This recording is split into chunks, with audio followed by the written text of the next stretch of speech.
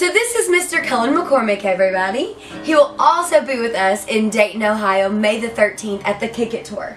Cullen, these tickets are $10 for 10 hours. I don't think that's a bad deal. I think it's a really good deal. Yeah, a dollar an hour. It's pretty cheap. It's pretty cheap. So please come and kick it with us alongside some other great musicians. And there's going to be some great music there. So we would love to see you there and love to get to know you guys. But in the meantime, we're going to show you guys just a little sneak peek of our new song called Changing for Me.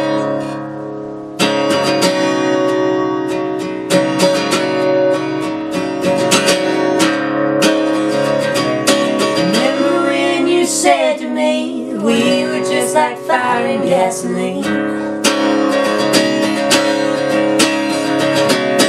I'm no good for you, no good for me, no good for anybody else.